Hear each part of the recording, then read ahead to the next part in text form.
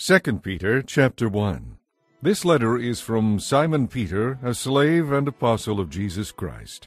I am writing to all of you who share the same precious faith we have, faith given to us by Jesus Christ, our God and Savior, who makes us right with God. May God bless you with his special favor and wonderful peace as you come to know Jesus, our God and Lord, better and better.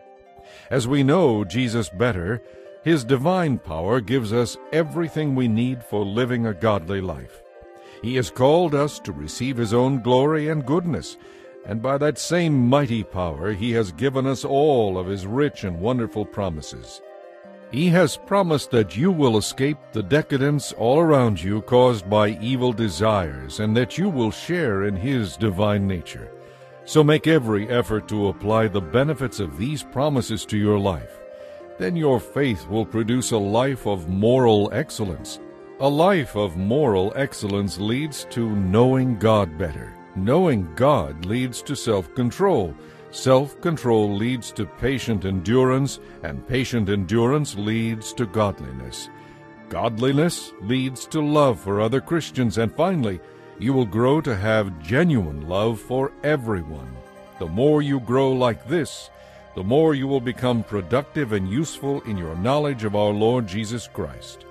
But those who fail to develop these virtues are blind, or at least very short sighted. They have already forgotten that God has cleansed them from their old life of sin. So, dear brothers and sisters, work hard to prove that you really are among those God has called and chosen. Doing this, you will never stumble or fall away and God will open wide the gates of heaven for you to enter into the eternal kingdom of our Lord and Savior Jesus Christ. I plan to keep on reminding you of these things, even though you already know them and are standing firm in the truth.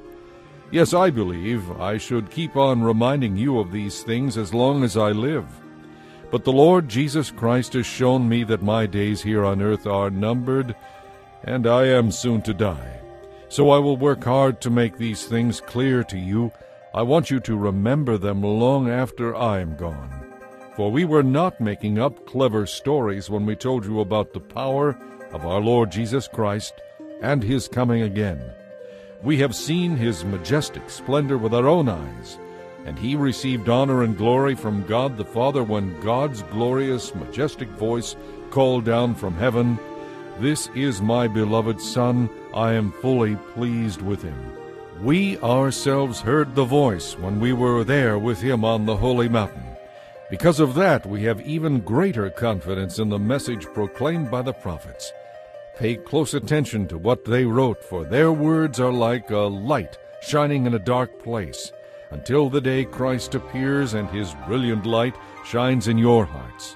Above all, you must understand that no prophecy in Scripture ever came from the prophets themselves, or because they wanted to prophesy.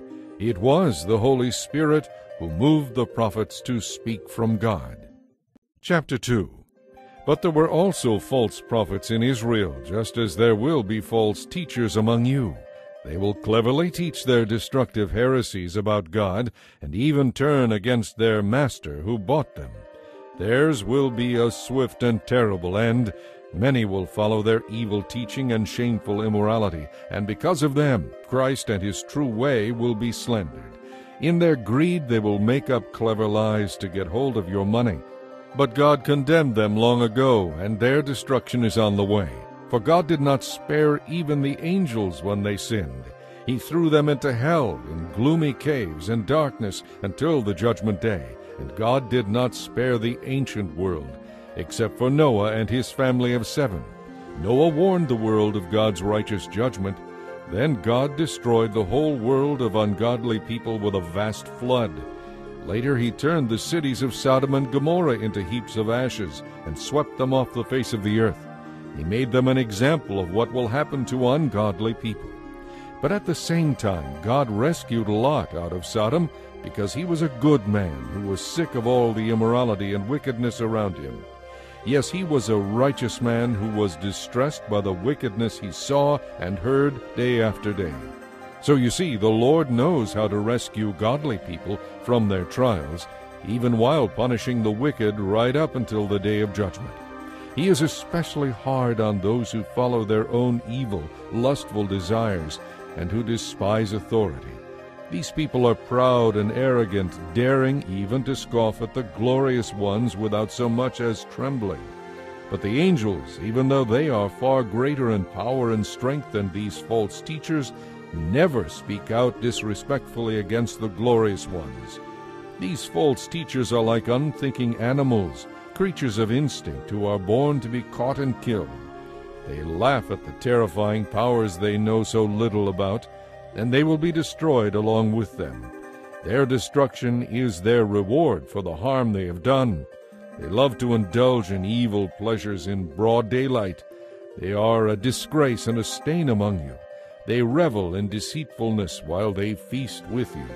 They commit adultery with their eyes, and their lust is never satisfied. They make a game of luring unstable people into sin. They train themselves to be greedy. They are doomed and cursed. They have wandered off the right road and followed the way of Balaam, son of Beor, who loved to earn money by doing wrong. But Balaam was stopped from his mad course when his donkey rebuked him with a human voice. These people are as useless as dried up springs of water, or as clouds blown away by the wind, promising much and delivering nothing. They are doomed to blackest darkness. They brag about themselves with empty, foolish boasting.